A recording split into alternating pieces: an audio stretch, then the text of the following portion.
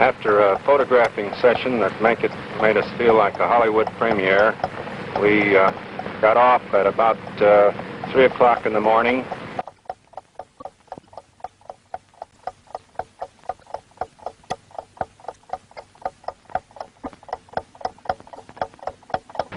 We felt that it was our lucky day, and we knew it was.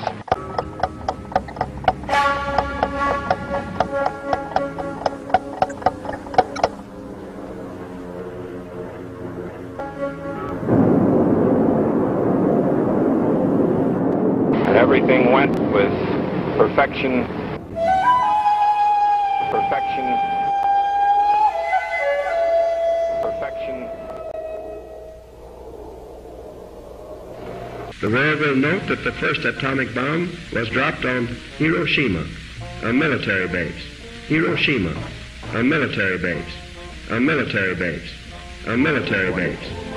That was because we wished in the first attack to avoid, insofar as possible, the killing of civilians. We have used it in order to shorten the agony of war, in order to save the lives of thousands and thousands of young Americans.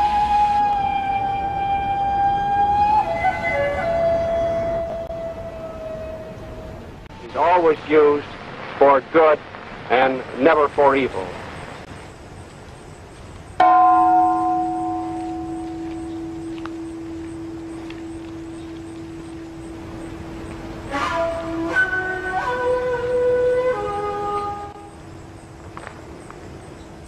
Dropping the atomic bomb saved their lives and our lives, Japanese lives.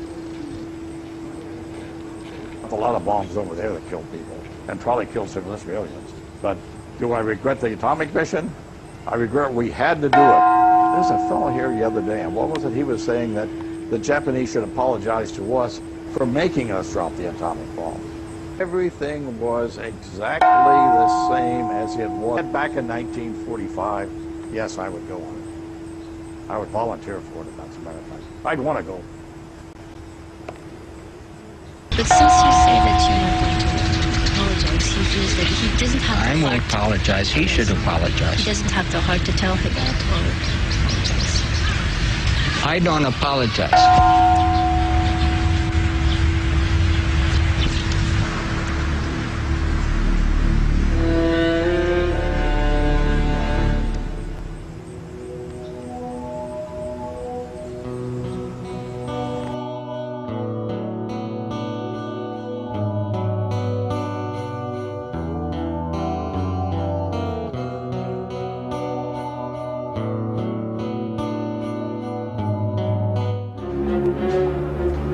We get into the atomic bomb as if we're in a race with Germany. And then when Germany came out of the war, when the war ended, when the Germans surrendered, what is the response of the scientists? We better hurry up and finish the bomb before the war ends. Otherwise, we won't get a chance to use it.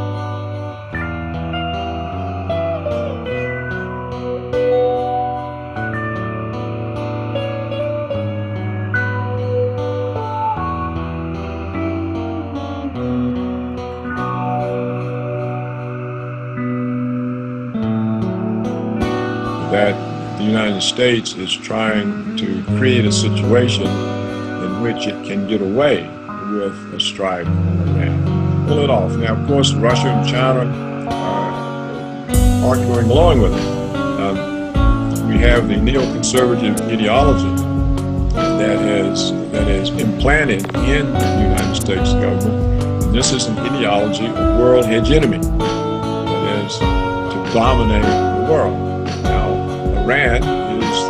Remaining independent country in the Middle East.